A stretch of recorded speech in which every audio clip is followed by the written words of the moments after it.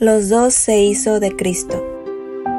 Juan 1.14 dice, y la palabra se hizo carne y fijó tabernáculo entre nosotros, lleno de gracia y de realidad. Dios se hizo carne.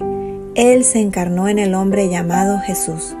Primera de Corintios 15:45 dice, fue hecho el postrer Adán espíritu vivificante.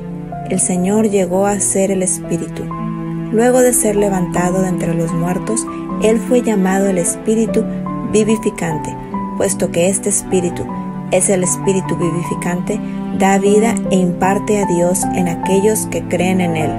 Por ello, la Biblia dice que el que tiene al Hijo tiene la vida, el que no tiene al Hijo de Dios no tiene la vida. Si Dios no se hubiera hecho un hombre en la carne, no habría podido efectuar la redención pero una vez que se vistió de carne, como cualquier otro ser humano, él fue restringido en dos aspectos. Fue limitado en el espacio y también fue limitado en el tiempo. Por ejemplo, si un hombre se encuentra en Tianjin, no podría estar en Beijing o en Shanghai al mismo tiempo. La muerte de Cristo no fue solo para llevar nuestros pecados, su muerte también lo liberó de su carne para que llegara a ser el Espíritu. Ahora, como Espíritu, Cristo puede estar en todas partes, gracias a que Él ya no está limitado por el tiempo y el espacio. Todos podemos ser uno con Él en cualquier momento y en todo lugar. Para regenerar al hombre. En el primer nacimiento, el hombre obtiene la vida física y en su segundo nacimiento obtiene la vida de Dios por medio de Cristo. La Biblia le llama a esto regeneración.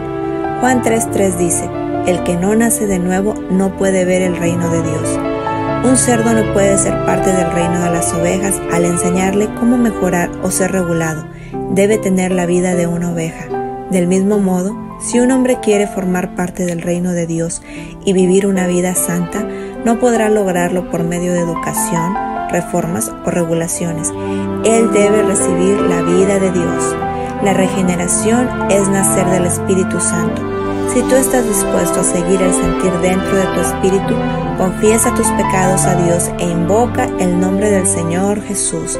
Puedes usar tu espíritu para creer y recibir al Señor Jesús como tu Salvador. Seguramente contactarás a Dios en tu espíritu y podrás recibir la vida de Dios. Una vez que la vida de Dios entre en ti, será regenerado. El significado de ser un cristiano. Un cristiano es una persona que ha recibido la impartición de Dios. Dios primero se imparte a sí mismo nuestro espíritu, luego desde nuestro espíritu Él se extiende a nuestra alma, finalmente nuestro espíritu, alma y cuerpo serán llenos y saturados por Dios. La Biblia le llama a esto glorificación. Este es el propósito de la vida humana. Este es el significado de ser cristiano. Este es el plan de Dios para ti.